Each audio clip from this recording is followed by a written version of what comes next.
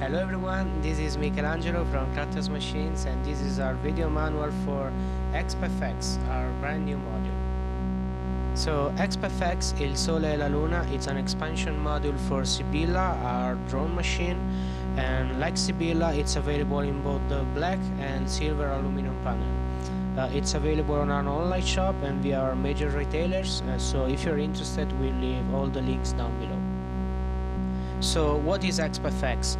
Uh, EXP-FX is, as we like to call it, it's a dual expansion module for Sibilla. Uh, it completely relies on it and you actually connect it to the main unit with a small ribbon cable that is of course included in the shipping box. And basically, depending on the firmware you are running on Sibilla, it can either act as an actual expander, giving you more control over internal parameters of Sibilla like the internal envelope and the resonance filter or with an alternative firmware it can actually transform the whole duo into an effect able to process any input sound the same way that Sibilla does with its internal waveforms creating a sort of weird glitchy pitch shifting delay effect now about the programming side, in order to be able to use EXP-FX with Sibilla, we actually need to update your module with two new firmwares. Uh, the programming procedure is very similar to the one used to update Sibilla, but with a few extra steps. So we actually decided to make a separate video for that, and right now we'll just jump into the main features of the new module.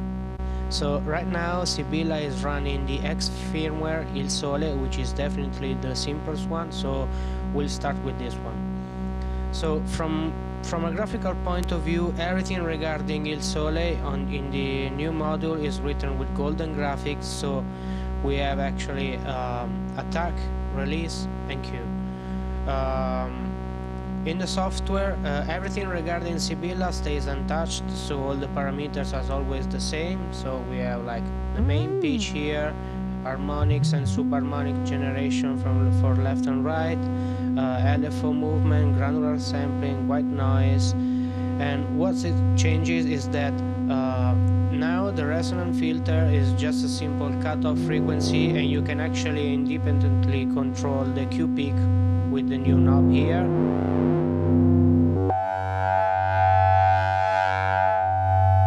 So we actually now have more control over the filter and we now have also more control over the internal envelope while tri when triggering Sibilla with external gate. So we now have up to 5 seconds of attack and 5 seconds of release. So about the internal envelope we now have up to 5 seconds of attack and 5 seconds of release. So let's have a listen with the keyboard. So fast attack and release. A little bit slow attack. It can go up to 5 seconds. And same things for the release.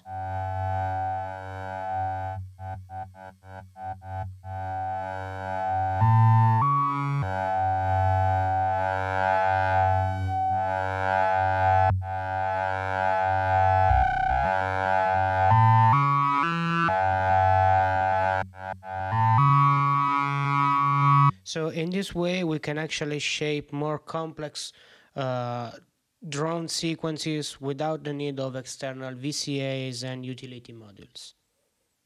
And of course, having such a super fast attack and release allows also to uh, create some percussive sound playing with like subharmonic generation filters and why not also the release.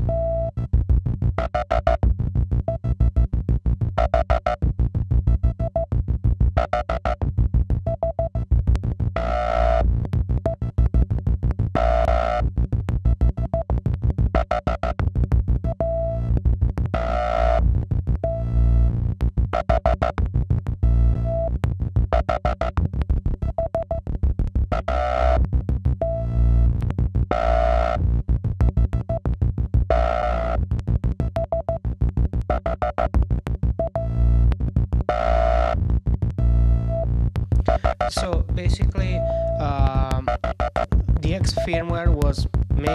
to finally complete Sibilla with what we think was missing. So more control over the internal envelope and filters to finally be able to create more complex uh, sounds and drones without the need of external VCAs and other utility modules.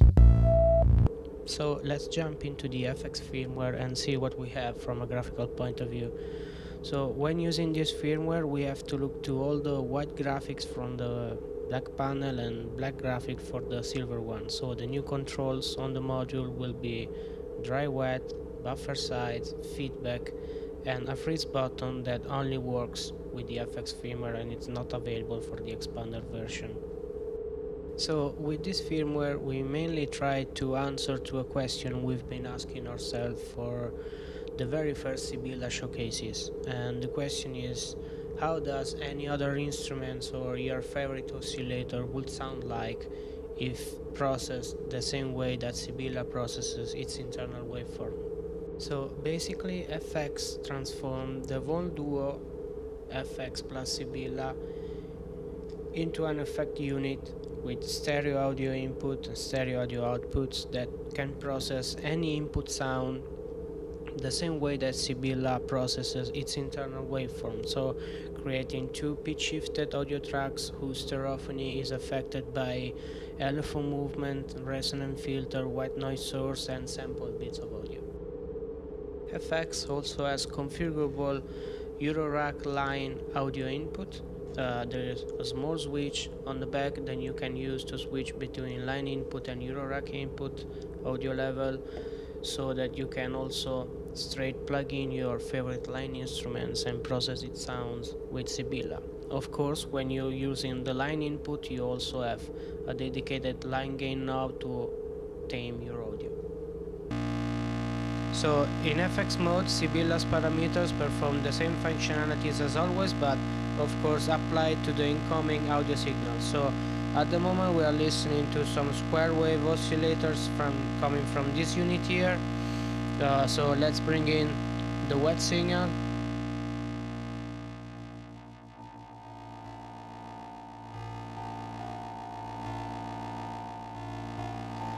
And instead of having like harmonic and subharmonic um, generation we now have two independent pitch shifted audio tracks.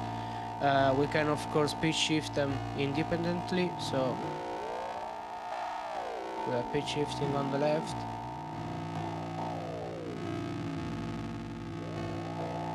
and on the right the stereophony is of course influenced by the movement of two free running LFOs that we have here. Like for Sibilla they can go from extremely slow 0.5 Hz up to 5 we can boost them to audio rate.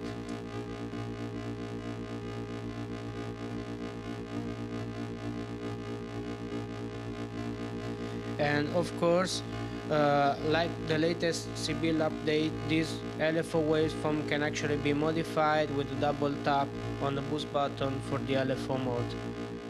Uh, of course, like for Sibilla, we can also add some white noise in the mix and we can actually shape the whole tracks with some, some filtering. And we can actually also add another sine wave to the mix uh, which is generated by this upper part here. We can control the volume of the new sine wave with the underwood knob and the pitch with the climb. Of course, we can always use the volt per octave to control the pitch of these sine waves and we can actually decide to trigger these new sine waves with the trigger input.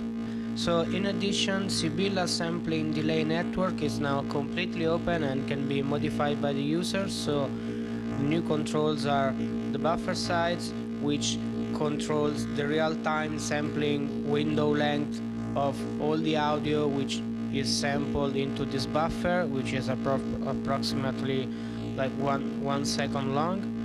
Uh, then we have the feedback control, which controls the amount of sampled audio which is also sent back into the audio loop for the pitch shifted tracks. And the grain knob which now controls the starting position of those sampled audio bits uh, the activity of the grain control still needs to be activated with a double tap on the center button. And we also now have a freeze button which freezes the buffer size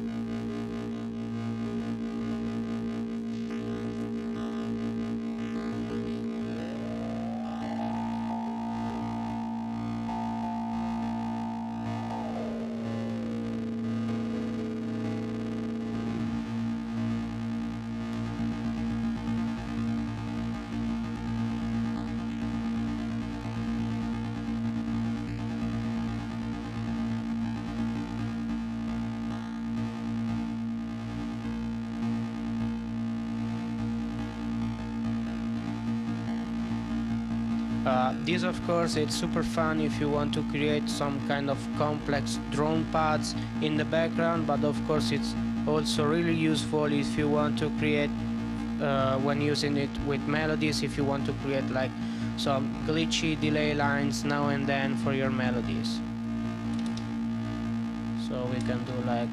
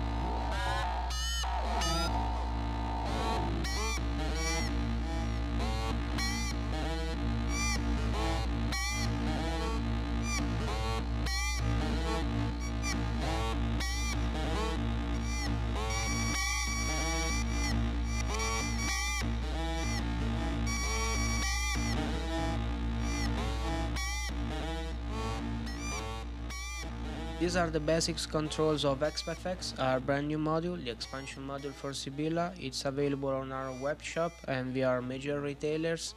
Um, if you want to know more about it, there's plenty of information also on our website, clattersmachines.com, and via our social media also at clattersmachines.com. We'll leave all links down below. Ciao!